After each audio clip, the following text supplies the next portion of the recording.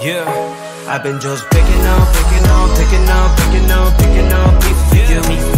How can I, how can I, how can I, how can I, how can I for you? Good morning and welcome back to my channel, Simply Queen by Sherelle. That's me, the seamstress. So today it's uh, Saturday. It's Saturday morning. Ordinarily, I'd be at the gym um, in my Zumba class, but given the recent uptick in the um, COVID cases due to the latest strain, I am going to sit out the first um, few weeks in this new year until things get under control. Um, I am fully vaccinated.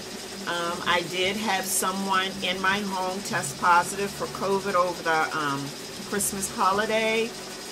Uh, they were vaccinated, but they did not have their booster shot. I was fully vaccinated, and thank God, um, you know, I did not contract the virus this go round.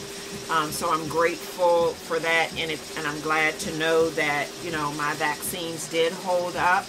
Um, however, I had a physical over the break, um, and my doctor shared with me that it doesn't matter if you're fully vaccinated, even with the booster shot, you can still get um, COVID because it is um, highly contagious. So please be careful out there. Protect yourself. Yes, my housemate, um, my better half, but not really because I'm the better half, um, is doing well. He has fully recovered, um, but he was dragging his feet getting the booster shot because he was under the belief that this is just, you know, too much of nothing. But unfortunately, he had to learn the hard way that it is much about everything and that though it is not concrete and it is not the cure-all, uh, it is a help. And I compare it to um, a seatbelt. You know, uh, seatbelts are not 100%, but um, the level of protection outweighs, you know, the risk, in my opinion. So for what it's worth, you know, take that and do do uh, with it what you do with it. Um, so we're going to do this weekend in the life of a seamstress. Most of the footage will be here at home because I am keeping my movements short. I am doing a second test run on the new machine of this image that I had digitized. Um, my client is a part of Walmart's transport um, team. Very, very vital, um, you know, team member, especially with everything, you know, that has been going on over the past two years now with us, you know, consumers you know, needing, you know, the, the things that we consume. So, you know, shout out to all transport um, personnel who are doing their absolute best, risking their lives um, out there, leaving their families, you know, to make sure that, you know, the goods are still, you know, transported and delivered um, around the country uh, so that we can try and still function as a society. So thank you. So um, I had that image digitized. Uh, he wears a vest and he wanted a new vest and a new hoodie. So he had those um, items shipped directly to me. Had the image digitized. I did my first test stitch last night on the new machine. And for the most part, it went well. Um, I still have the same complaint about um, this machine, this very expensive machine, in that I have to manually go in and select the colors um, that are programmed into the um, digitized image. And I think that is a drawback for this machine. I don't know if that's the case with some of the other um, multi-needle brand machines, but that is something to consider, um, a negative to consider when you are considering a multi-needle machine is will the computer interface on the machine automatically read what is digitized and it doesn't so I have to manually go in and put in the colors at the stops and this has 20 stops so I had to program in um, 20 you know the color for the for the stops which um, once I once you do it, it does stay in for that design. So that's, I guess, one good thing about it. But as long as you don't move around your threads on the actual machine, um, then it'll work for you. Excuse me.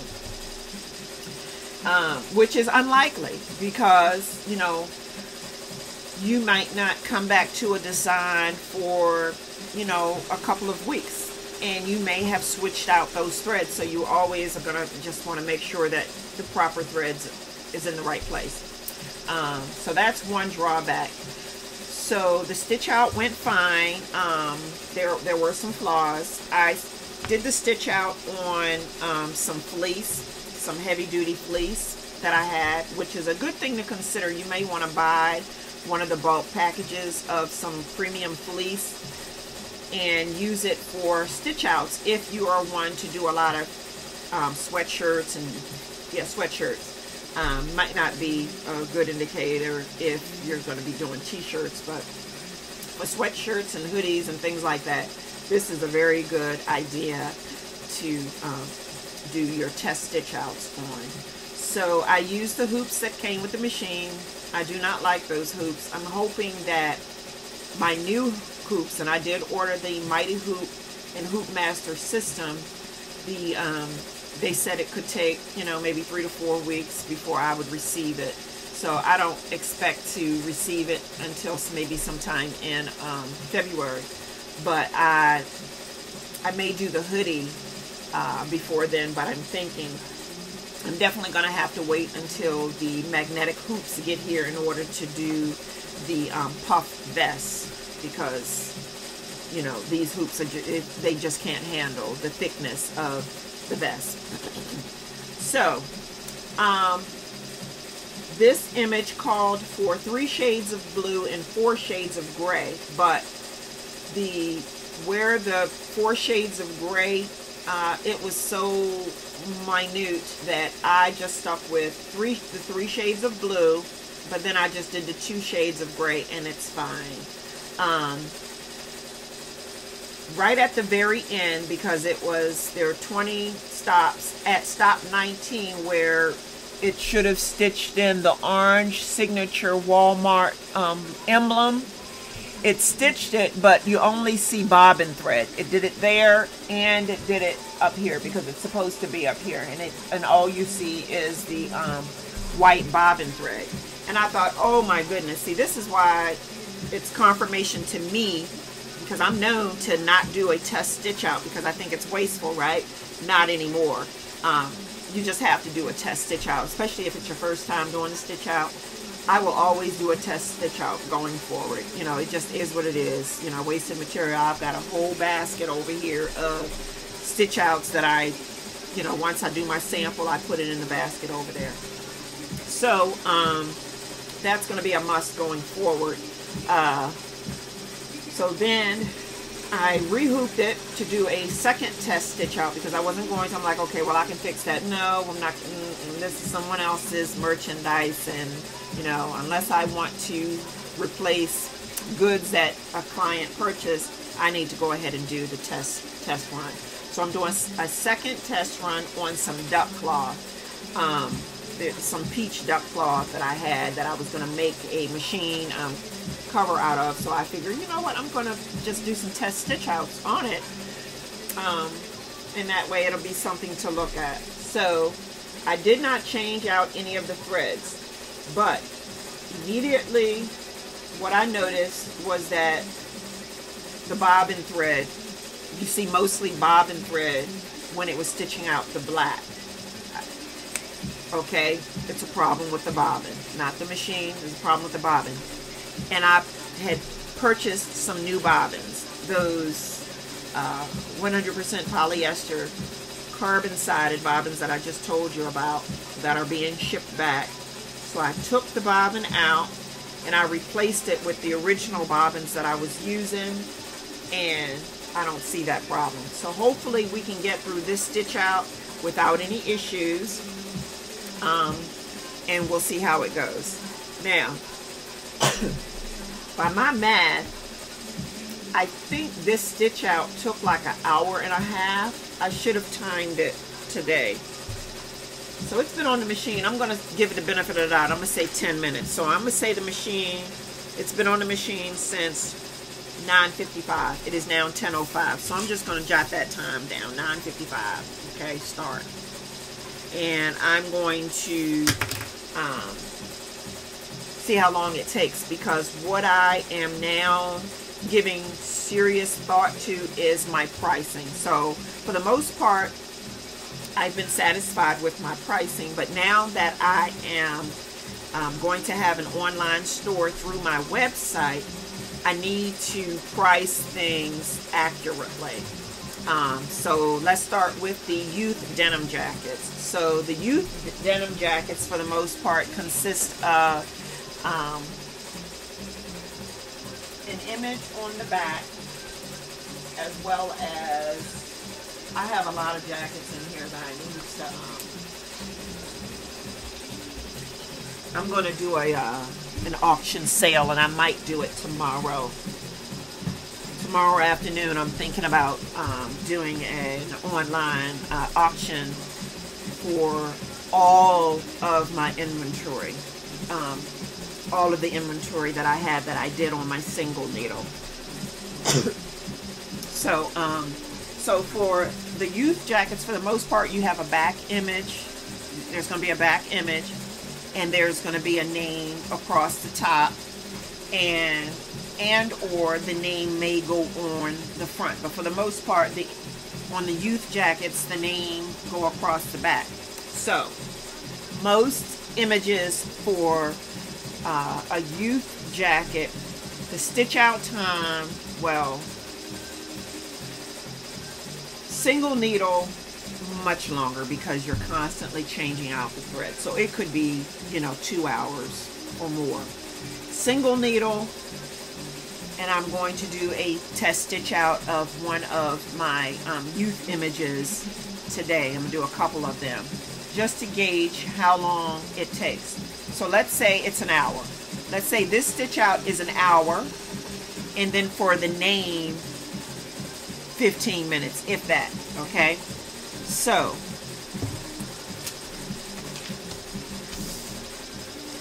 let's say I do $25 per 30 minutes. Okay, because there are some stitch outs that can be done in 30 minutes like your logos. Okay, so $25 an hour, uh, $25 for a 30 minute stitch out per 30 minutes when it comes to a stitch out, okay? All right. And now that I think about it, that's not going to work. So I think the better way, because I've already said this machine will not move for under $50. So I won't put anything, I will not do any work on this machine. The starting point is $50. So let's just call it what it is. One hour or less is $50. Okay. So if your stitch out can be done under an hour, right off the bat for the stitch out, it's $50, which is accurate because if this stitch out is say 40 minutes and your name is 20 or 15 minutes, then there's the hour there. So that's $50, right? So the stitch out, this stitch out here is $50, okay? Add in the cost of the jackets. These jackets cost me anywhere between $20 plus tax to say $25 plus tax, okay? So we're going to add in $25 for the jacket because I have to pay shipping, I have to pay taxes, okay? So we're already at $75 for this jacket. So on my website, you can get the youth jackets from size 2T to youth 14 for $75, okay? Plus tax, plus shipping. Prior to me opening my store, you could get this jacket for $60, okay? And that was me doing them on a multi-needle. So I cannot sell myself short like that anymore because one, I use the finest of materials. I'm not sending you junk and the work is quality. Okay, so oh, oh, and over the Christmas holiday, because I took my overflow to a bazaar, you could get a jacket already done and instead of the name it may have said cutie or you know girl power or whatever for $45 because I was trying to get rid of the inventory, okay?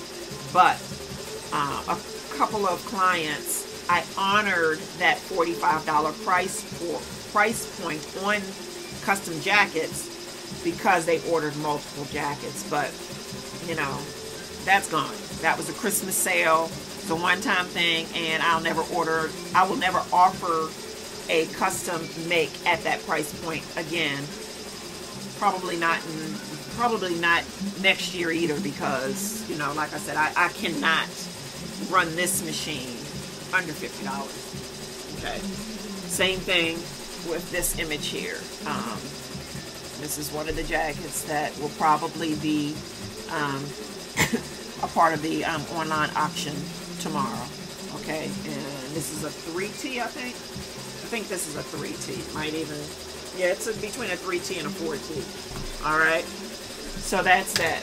Um, so yeah, I'm going to work on my store at some point today. I'm going out to G Street Fabrics in Rockville um, because I'm I need to see what type of uh, stretch fabric, um, if they have any stretch crepe back satin. Work on these two wraps here they're just about done. These are the belts that I've started. I need to finish. I need to press, give them a nice press. Give them a nice press. And I need to stitch down the center and then put in a couple of more um, stitch lines. So those are the belts. And they're so sharp. This one here, this is the one with the hood. And what I've changed in these is I've reduced the size of the hood. And unlike the one that I did for myself last year where I left all the edges raw, um, I'm putting a small hem in the bottom. So that this part here, the open part, is completely finished. And then I will continue that with a 5 8 inch of a hem the corners are mitered and I have started that pinning process on this one. So this one is ready to be stitched. Okay. And um, yeah, this is beautiful. This one here doesn't have a hood. This one has the shawl collar. I absolutely love this. Um, and then this will be just about done. I haven't decided if I'm going to embellish it with anything. Um, uh, again, I'm going to take a look once I get out to G Street Fabrics and see what they have. Um, so yeah, I mean, it is just, it's a gorgeous, gorgeous, gorgeous wrap. And the belt goes through here. Yeah, I need to cut open the, um, I need to cut the openings open but this is just lovely. And this is really heavy wool. It's nice wool. Um, sure. And so once I get all of these done, I showed you the houndstooth fabric, wool fabric that I have for the next one. But the fabric is so luxurious, that black and white houndstooth. I I don't know. I'm, I think I'm going to do, I think I'm going to keep it for myself and I'm going to do something more along the lines of an asymmetrical cut. And I'm definitely going to leave the edges raw on that because it is very, very, very thick um, wool. And it's not going to have a hood. I am going to do the collar on it, maybe a little bit bigger. No, the collar, yeah, maybe Maybe. because I'm going to make a hat. Alright, well, this is just about at 20 minutes, which was my goal. So I'm going to stop it here, and I'll see you a little bit later on today.